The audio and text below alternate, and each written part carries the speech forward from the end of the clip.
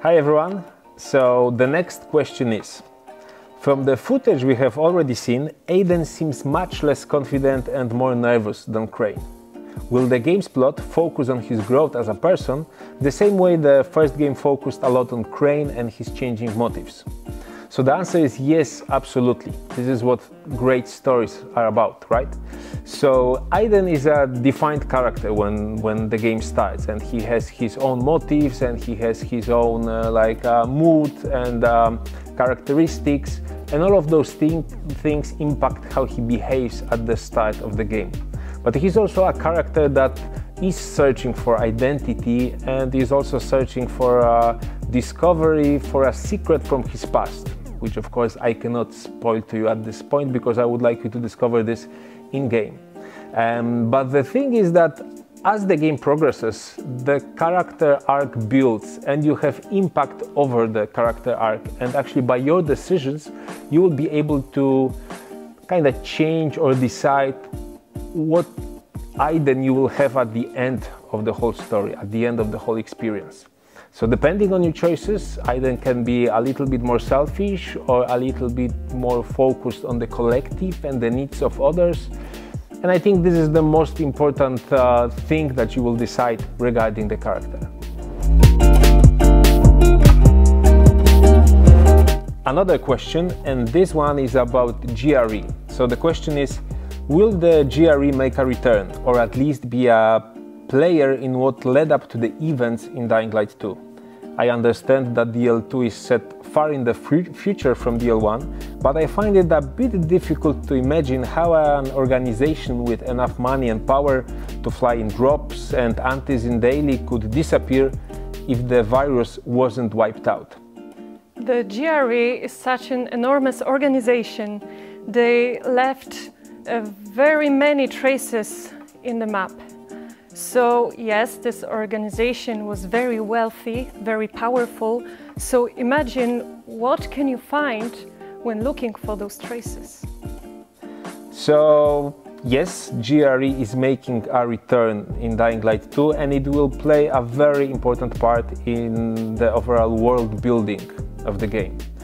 So you will see plenty of uh, bits and pieces and collectibles and notes and references to what happened to GRE and uh, basically how it connect, how it connects and what role it plays in the events between uh, Dying Light 1 and Dying Light 2. Another thing is that you will also encounter a lot of GRE related stuff in the game. And actually there will be uh, even open world activities built around you discovering and exploring uh, abandoned GRE labs and quarantine areas. So if you are really interested in the backstory of GRE, you will have a lot of places where you will be able to learn it. The next question is about romance. So the question is, I don't really play games with romance in them, but uh, in the first Dying Light game, Jade and Crane had um, somewhat of a relationship, romantic relationship going on. So can we expect to see something along the same lines for Dying Light 2? So for sure, you will experience a lot of very strong, very complex relations between people, between the main character and the NPCs, between the NPCs themselves, and of course, there will be quite a few very strong female characters. Uh, but we don't have uh, romance options like in BioWare games, for example, because this was never our goal. Okay, so the next one is the heavy one. And we have been asked this basically since we announced the game. So the question is, which ending of the following is canonical? So it's still a little bit too early to say it all to you guys, but um, let me just tell you that the events in Dying Light, Light 2 and the events that have led up to Dying Light 2 are very strongly connected to what happened in the first game. So when you play Dying Light 2, you will surely discover the answer to this big question. The story of Dying Light 2 takes place several years after the story of Dying Light 1. Kyle Crane was such an important person in all the events that happened in Dying Light 1, so he must have left at least an impact of what will happen in Dying Light 2.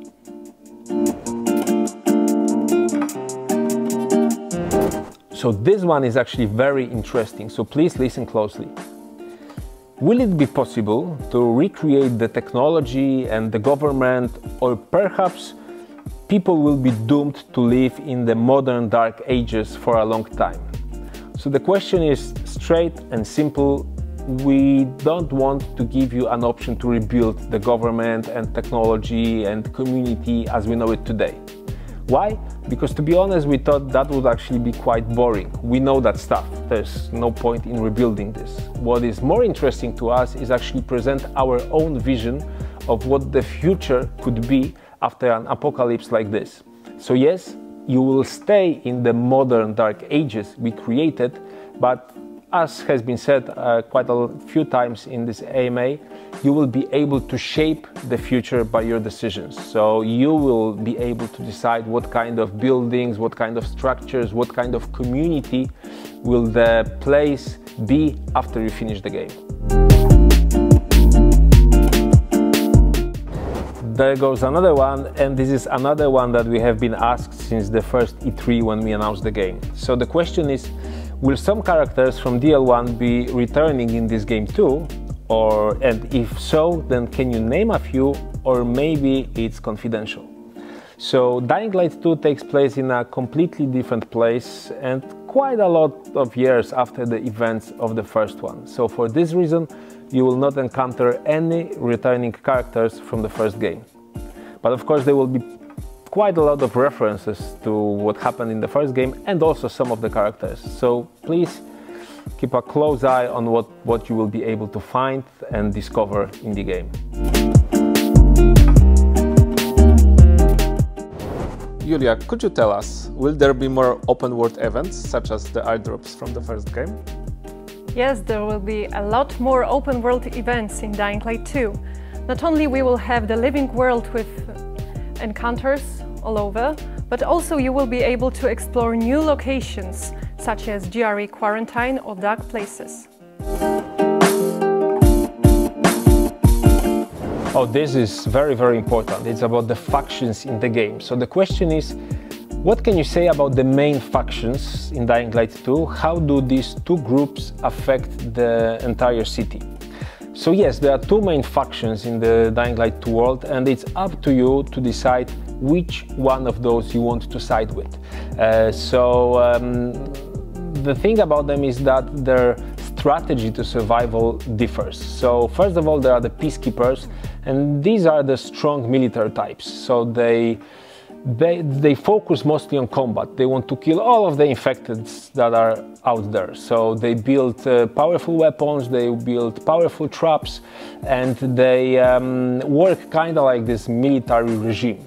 The other faction is survivors, and they want to adapt, they just want to survive, so they adapt to the environment, building their communities, uh, planting fields, uh, and also investing and focusing on traversal. They don't fight that much, they just want to be able to travel the city easily and escape any threats. So if you side with them, you will be start seeing more and more of their, of their um, traversal helpers, and you will be able to use that as well. Of course, aside from the peacekeepers and the survivors, there are other groups in the city. The next important one is the renegades, and they are basically the bad guys. So you will face them and you will have to make some decisions how you want to deal with them. And then there are also smaller groups which are used mostly in side quests or as like additional background characters for the main quests colorful people, colorful groups with uh, their own uh, ideas, agendas that you will be able to discover while you'll be playing Dying Light 2. There goes another question and it says, will I be able to side with no factions and be an enemy to all? Uh, so you have to understand that our world is extremely brutal, extremely primal, and it's full of threats and conflicts so if you have no allies, you basically die very quickly. And we don't want you to die very quickly, and we also want you to make a decision. We also want you to make a statement. So a lone wolf option is not available. You will have to decide if you want to play with those guys or the other ones.